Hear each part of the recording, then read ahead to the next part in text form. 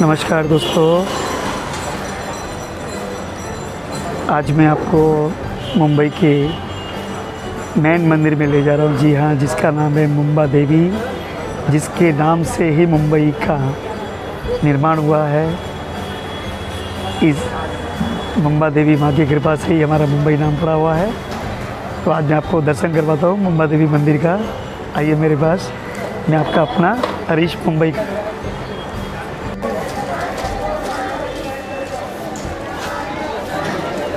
क्योंकि काफ़ी बड़ी भीड़ की तादाद के कारण लोग बाग सिर्फ़ ये गुंबद के दर्शन करके ही निकल जाते हैं।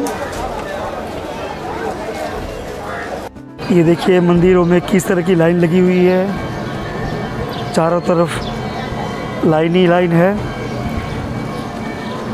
काफ़ी भीड़ उमड़ती है मुंबई की यहाँ पर।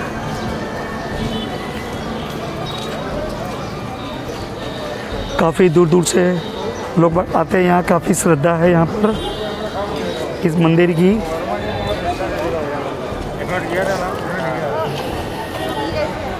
देखिए कितनी लंबी कतार है मुंबा देवी मंदिर की।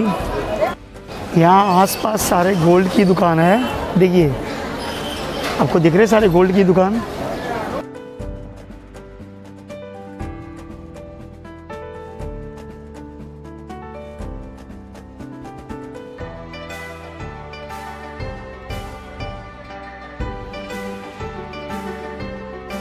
मंदिर के आसपास ही सारी सामग्रियाँ मिल जाती है, पूजा की। जैसे कंकु, तस्वीरें, घंटियाँ, प्रसाद, सभी कुछ मिल जाती है यहाँ पर।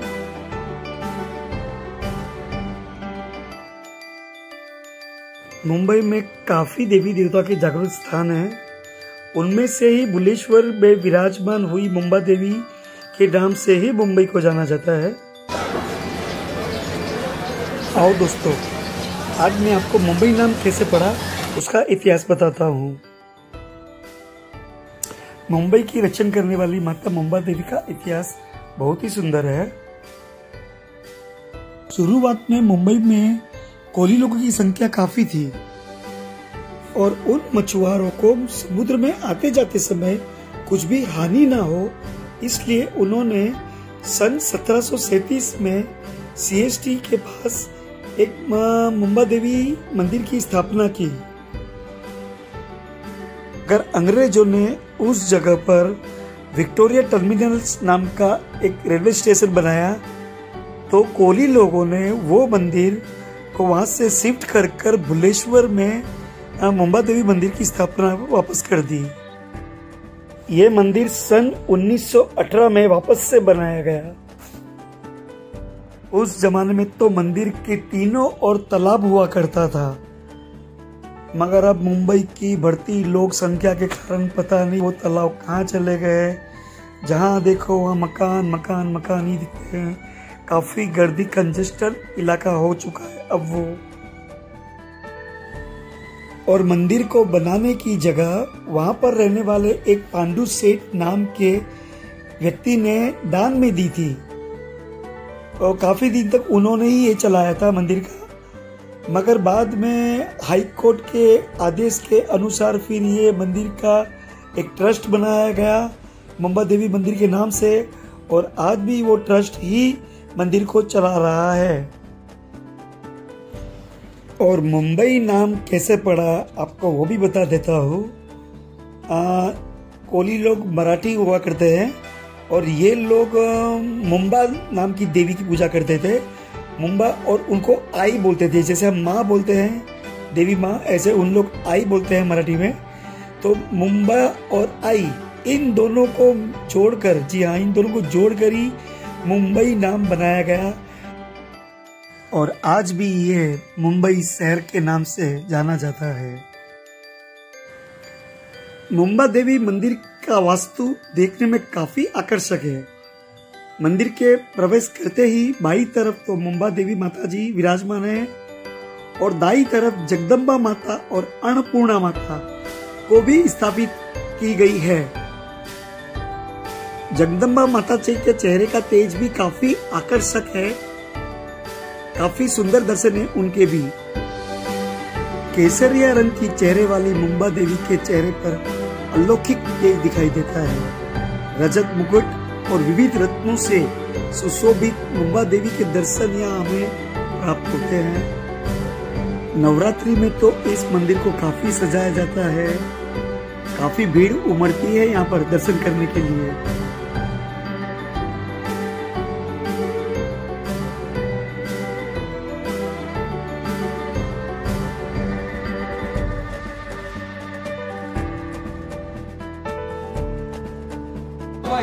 यहाँ जहाँ भी देखोगे वहाँ गोल्ड है, क्योंकि ये गोल्ड मार्केट है। गोल्ड मार्केट के बीचों बीच ये मंदिर है।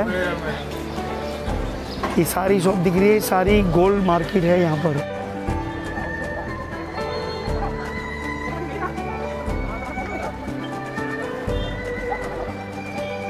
पता है हमें कि मंदिर का माहौल देखिए कितना बढ़िया है। यहाँ जहाँ भी देखो, वहाँ स्टॉल स्टॉल दिखेंगे आपको। कंकु मालाएँ, तस्वीरें, देवी की, सारा कुछ है यहाँ पर। देखिए, पूरा बाज़ार यहाँ है। उसी से माहौल से पता चल जाता है कि काफ़ी प्राचीन और बड़ा मंदिर है यहाँ पर। ये देखिए।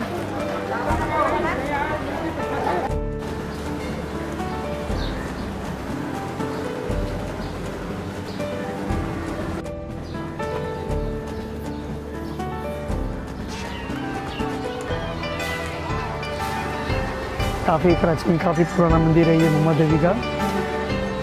ये देखिए।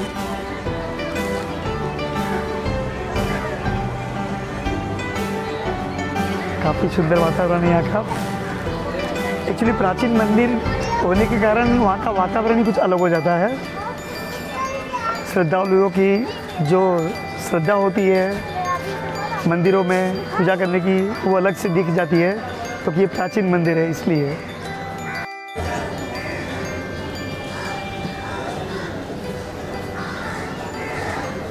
मंदिर के प्रांगण में ब्राह्मण लोग बैठे हुए हैं, देखिए, जो श्रद्धा से हमें पूजा करवा देते हैं। और यहाँ का मुंडन, जी हाँ मुंडन, बाल सर कटवाने का मुंडन काफ़ी अच्छा देखिए नाव भी बैठा हुआ है, क्योंकि श्रद्धालु लोग आते हैं, अपने बच्चों के मुंडन करवाते हैं यहाँ पर। मंदिर की बनावट से आपको पता चल जाएगा, मंदिर की नक्शाकारी, कितना प्राचीन है मंदिर ये। यहाँ पर मेरे ख्याल से जो मुंबई आते हैं श्रद्धालु लोग, वो मुंबा देवी मंदिर के दर्शन करके ज़रूर जाते हैं। जी हाँ। जो कि काफ़ी मानता है यहाँ मंदिर की। और स्पेशली कोली लोग, जिनकी कुल देवी है ये मुंबा देवी मंदिर, ये लोग बहुत मानते हैं इन्हें।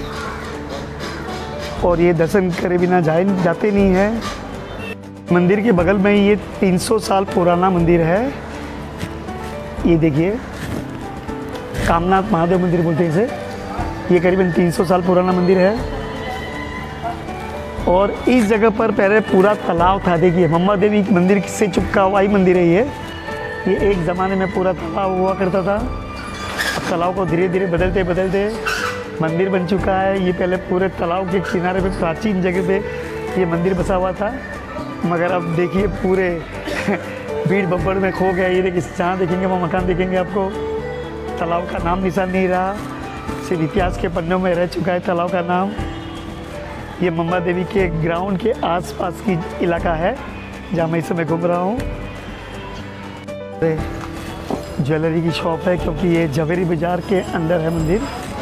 चारों तरफ़ मंदिर के आसपास जो शॉप है, वो सिर्फ़ ज्वेलरी की शॉप है देखिए बड़ी बड़ी आपको ज्वेलरी दिख रही है, गोल्ड ज्वेलरी की यहाँ मुंबई का सबसे बड़ा गोल्ड ज्वेलरी मार्केट भी यहीं पर है जवेरी बाज़ार। उसी जवेरी बाज़ार के अंदर ही, ठीक बीचों बीच में ही ये मंदिर बसा हुआ है, जिसको कहते हैं मुंबा देवी मंदिर।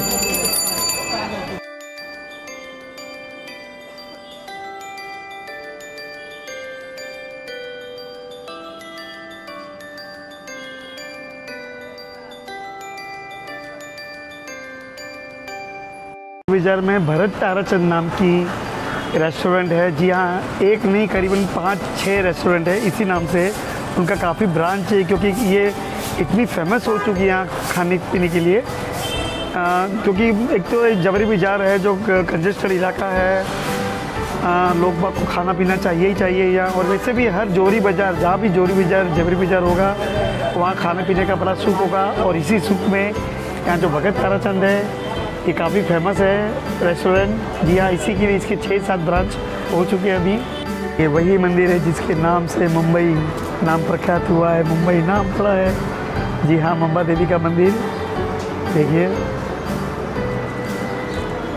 तो सोच लीजिए आपके ये मंदिर का कितना महत्व है, क्योंकि इसी मंदिर के नाम से बम्बई जैसी नगरी, मुंबई जैसी नगरी।